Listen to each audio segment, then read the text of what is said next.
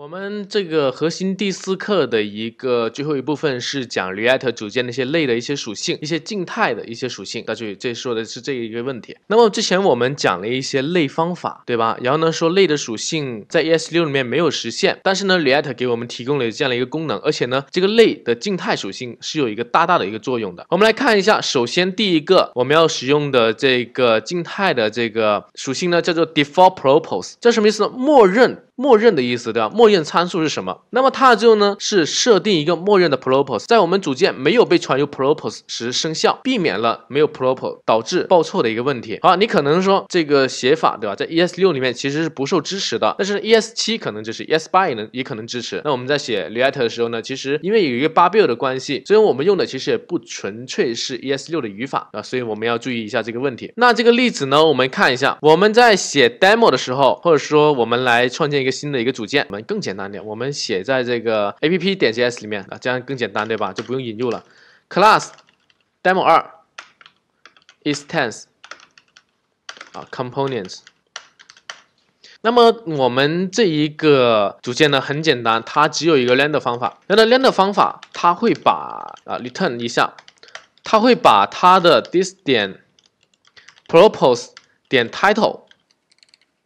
渲染出来哦，或者我们这叫 title 组件吧，好吧？那一个标题对不对？它会把这个传递进来的标题打印出来。那么现在我们来试一下啊，我们嗯把后面的代码都注释掉吧，为了方便。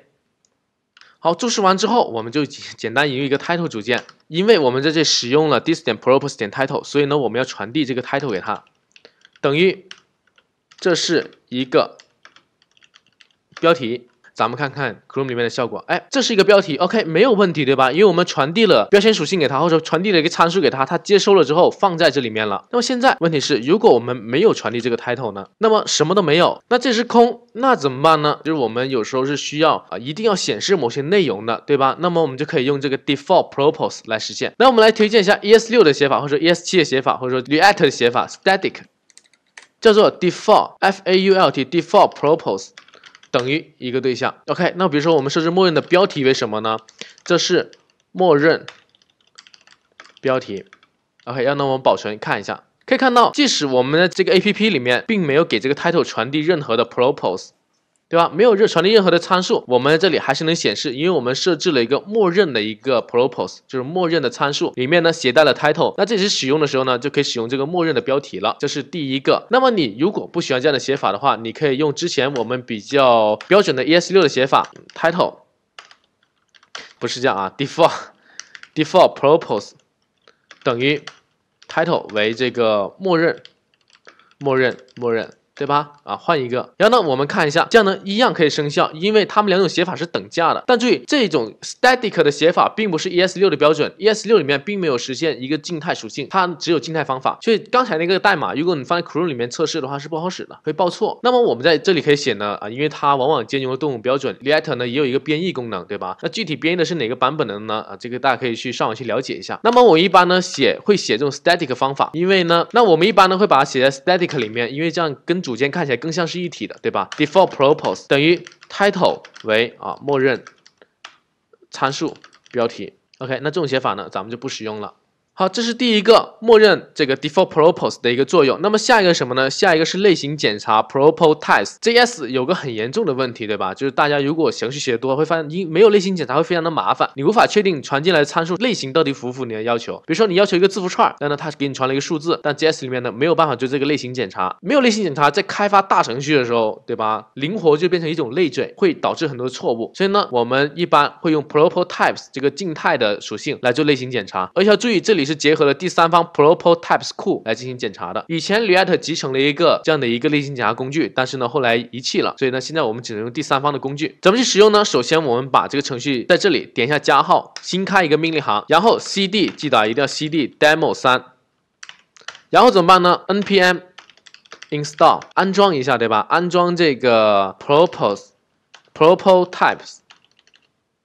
对不对？然后呢，杠杠 save 添加到我们这个开发环境里面去。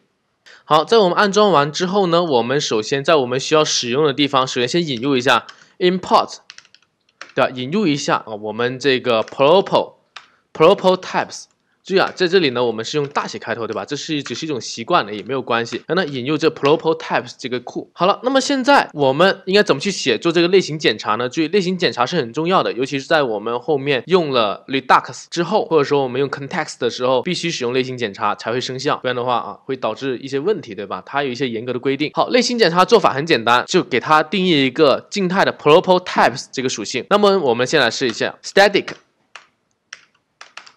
Propo types 啊，大写的 T 等于什么呢？在这里需要说明你的类型，比如 title，我们要求什么呢？我们会调用 propo types 这个库的，它里面会加会有很多种类型。我们看到 any 是任何类型都可以，对吧？这是任任意类型，数组、布尔型啊，一个 element，一个函数，一个节点啊，一个 number 等等各种类型。那么我们在这里呢，要求指定的是 string 类型，这个有些 JS 基础的同学应该都知道啊，JS 里面的类型的一些规范，string 类型。好了，那我们再尝试给它传传递别的东西啊，是传递 title 等于一个字符串零，然后我们现在看一下，现在会怎么样？它会报了一个错，他说 invalid 错误的类参数 title of type number，对吧？他说了，我们现在期望了一个 string 类型，但是呢，你给了我一个 number 类型，虽然我也能给你正确显示出来在这边，但是呢，我告诉你这是错的，对吧？因为我们在这里啊，我们在这里是做了一个类型检查，对不对？所以呢，我们在开发的时候要一定要注意类型检查的一个问题，因为你程序越来越大的话，你类型会越来越复杂，你自己也记不清，所以呢，做一个类型检查是非常非常有意义的。那类类型检查写法呢很简单，就是引入了一个第三方库叫 propo types，